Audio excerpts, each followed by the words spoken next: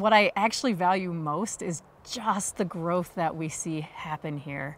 It is unlike anything else that, that I've ever experienced in helping people create change in their lives. I'm Kirsten Bolt. I'm a licensed marriage and family therapist and a senior clinical therapist on our team at Open Sky, and I work with adolescent girls. So I found the field of wilderness therapy when I was uh, a 20 year old and um, I was looking for something really meaningful and I stumbled into wilderness therapy as a field guide on recommendation from some friends and it really spoke to me and part of what led me there in the first place was just some of my personal experience growing up. Um, my family could have used more family therapy when, when I was a kid, and, and so I have a particular fondness for helping families. It's just, it's a field that's really powerful and, and, and that I'm so personally invested in.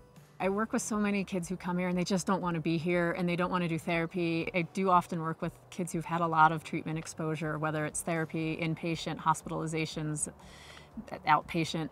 And I think especially in today's climate for for adolescent girls to feel okay about who they are. I mean, it's so much of what we're working on. There's so many messages about where girls' worth is, and it's not usually in the right places. And so it's something I, I feel really um, passionately about is just helping them be authentic um, and be their best selves. You know, we're not shaping people into anybody other than who they are as, as at their core. And the kids that we work with really feel that. They, they feel our authenticity, they feel our passion, they feel our care, they feel our, our warmth. Um, so, and that, that reminds me of a quotation that I really like, which is, they may forget what you said, but they'll never forget how you made them feel. And that's so much my approach is just very relational. I'm just who I am with students and help them be who they are. So it's how I train guides that I work with. It's it's how I encourage parents to be in the work that I do with them. It's just being authentic, being who we are. So in a way that they know that it's coming from love, we also are really challenging them to see how things they're doing at home aren't healthy, how the things that they're doing are actually making what they're trying to do worse. And from that place, you know, with challenge, with with love, you know, we're, we're just helping kids be their best selves. And then the other part of my approach that I, I would highlight is just the family therapy. Um, most of the kids aren't here because there's fundamentally just something wrong with them. Usually there are bigger issues in the whole family system, the educational system, the social system, and so a lot of what we're doing is tying in all of these different pieces.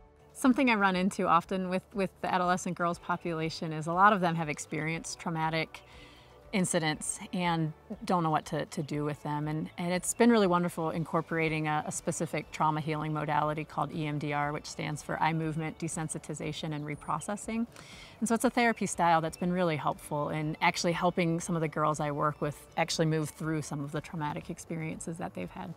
The growth that people make out here is, is really profound. And I don't mean just the students who are here, but I also mean their parents who are working in a parallel process with them at home. So often I, I hear back from families of, of, of, the kids that were here and, and it's, it's always really exciting when I, when I hear from them that they're still connected to us and they still feel really grateful for their experience. And sometimes they're reaching out for support and resources and, and often they're reaching out to share high school graduation photos and college admissions and college graduations and it's just really rewarding to, to know that the work that we're doing is having a lasting impact.